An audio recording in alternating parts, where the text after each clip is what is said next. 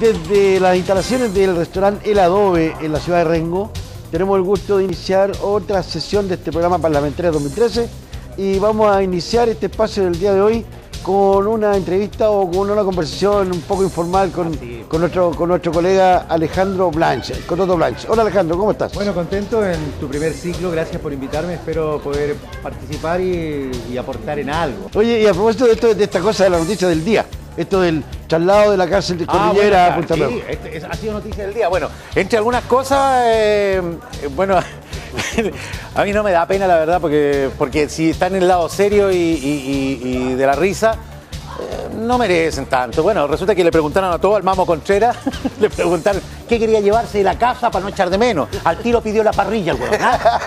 "Ah, si me- y me llegan algunos, me prestan algunos colegas y los emparrillamos. Y la verdad que eso es lo que ha pasado. Ahora, bueno, ahí en Cordi- Cordillera se la par hotel, hay siete cabañas dispuestas, se arriendan.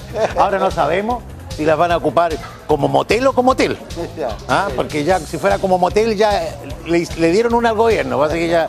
Bueno, la verdad es que eso es lo que está pasando en el ambiente político, está bien revuelto el asunto. Yo creo que al final de todo, eh, yo encuentro un poco maquillaje nomás, Mariano. No sé si. Sí, Sí, sí. porque entre Cordillera y Punta Peuco dicen que no hay mucha diferencia. pues. Bueno, la diferencia está más dada fundamentalmente porque Punta Peuco tiene más características de prisión, en el sentido de que tienen encierro a determinada hora, lo otro es más bien como una especie como de, como tú dices muy bien, una paro hotel, yo creo que la parodia es perfecta en el sentido de la Sí, yo creo que sí. Bueno, y si uno entra un poquito a la parte seria, era una ofensa a todos los chilenos, hay que decirlo. Yo, no en el lado político, pero en el, en el lado de personas, era una ofensa a todos los chilenos sentir de que ellos estaban con privilegios muchos más. Y cuando vienen algunos señores abogados, colegas tuyos, a propósito, colegas tuyos, no, y a, pro- a propósito, colegas, voy a contar un chiste de, de muy bueno, claro. Resulta que un tipo va caminando y corriendo por la calle cuando ve un negocio y compró un ratoncito de bronce. Porque tú sabes que aquí en Rengo tenemos muchos artesanos. Efectivamente compró el ratoncito de bronce, el tipo se lo envolvieron, pagó dos luquitas y se fue con el ratón. Va caminando y empieza a sentir ruido por detrás. Se da vuelta, ratones, cientos de ratones, miles de ratones de la municipalidad, Guarene, con tonto, saliendo para allá, para acá, ratones, todo. Y el tipo empezó a correr con su ratón de bronce, no allá, llegó hasta Popeta corriendo.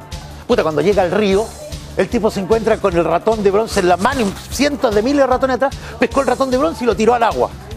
En eso, detrás del ratoncito de bronce, se tiraron todos los ratones y se ahogaron todos los ratones. Partió el tipo corriendo de nuevo a Rengo, llega al lugar donde había comprado y dice, señor, ¿de dónde sacó ese ratoncito de bronce? Yo los hago, pues, soy artesano.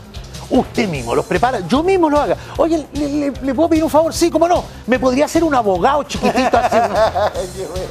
así que eso es lo que está pasando. Bueno, mira, la verdad es que bien simpático tu chiste, porque ya, ¿qué querés que te Ah, pero está bien. Pero de no, no, está bien, amigo. está bien. Usted- usted me dijo bien claro. Alejandro, no, si no hay problema, si ahí estamos bien, pero no sigas con el segundo, por favor.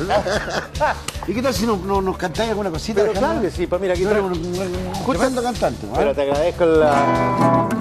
Vamos a. mm, ¿Qué tal si cantamos una, una cancioncita, no es cierto?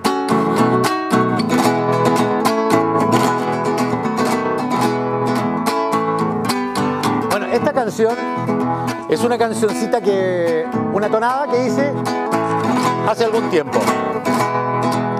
Corre mi overo en el campo, mi viejo chamanto al viento se da.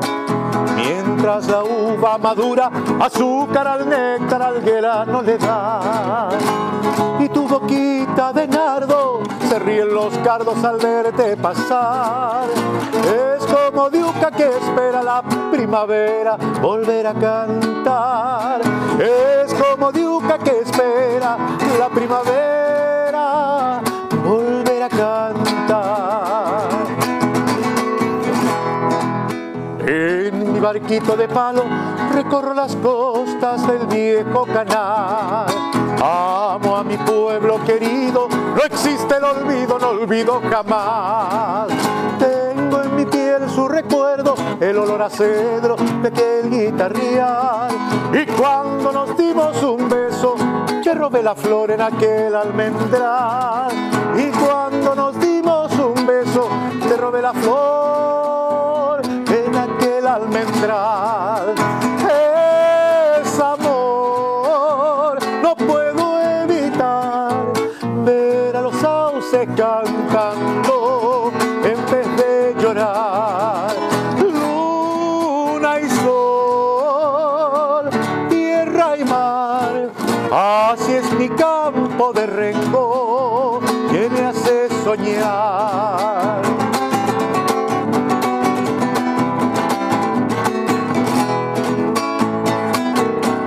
Así es mi campo de rengo, trabaja el obrero, se amasa el pan. Suena el pito a las doce, María, que cose del remendar. Por nada, amo tu mirada, amigo al pasar. Es como agua que llega cantando serena por algún caudal. Es como agua que llega cantando serena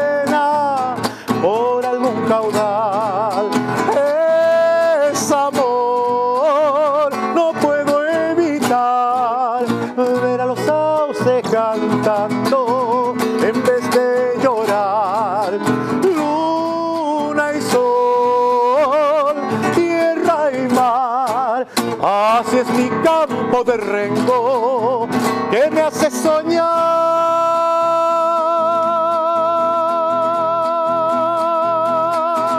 Bravo. Buena, buena. Gracias, gracias. Muy Espero bien. que nos veamos en el próximo. Pero muy buena. Esa canción es tuya, Alejandro. Absolutamente. Eh, qué lindo tema, ¿eh? dedicado a Rengo. ¿Tú, tú eres nación Rengo, tú no eres nación Rengo. No, no, no, yo soy renguino por adopción. Por adopción. Claro, mi señora es de Rengo, ella llegó acá y me trajo, así que Bien. feliz, hace más Bueno, de le vamos- 25 Le años. vamos a agradecer a tu señora que te haya traído porque la verdad es que eres un buen aporte para nuestra comunidad. Pueden hablar con ella también para que me echen. Bien, oye, eh, te quiero contar algo, pues, Alejandro, que vamos a empezar ahora. eh, vamos a terminar contigo, pero vamos a dar paso a una entrevista con un candidato al Senado por esta circunscripción de Higgins. Se trata de Juan Carlos Latorre Carmona, Exacto, un conocido. personaje que ya tiene mucho tiempo en la política, ha sido parlamentario por cuatro periodos seguidos, en el distrito 35 como diputado, fue subsecretario de Obras Públicas, en fin, tiene un currículum bastante interesante. Va a ser muy interesante entonces escucharlo. Sí, y con el, y con, y dándonos la- y, y con el, con el auspicio interesante de la DOE, de esta familia Pasalacua, que han tenido muy buena voluntad en facilitarnos el local, vamos entonces a dar paso a la entrevista con el candidato al Senado por esta circunscripción de Higgins, don Juan Carlos Latorre Carmona.